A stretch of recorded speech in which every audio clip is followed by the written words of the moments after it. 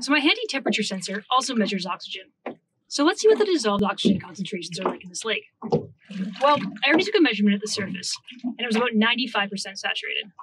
And I lowered the temperature sensor to 10 meters, because we can assume the epilimnion is pretty well mixed. And at 10 meters, there's 76% oxygen. Let's go lower.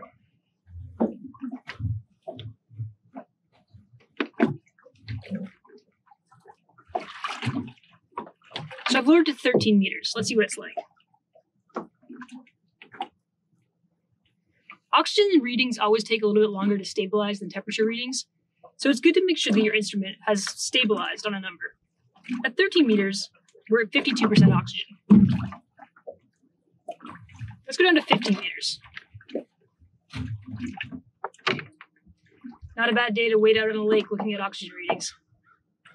So at 15 meters, we have about 43% oxygen. Let's go down to 17 meters.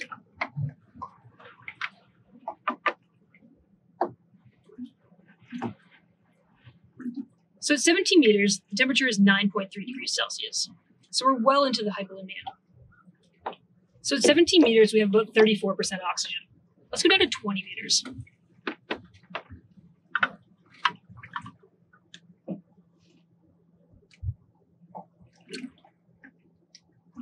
20 meters, the temperature is 8.2 degrees Celsius.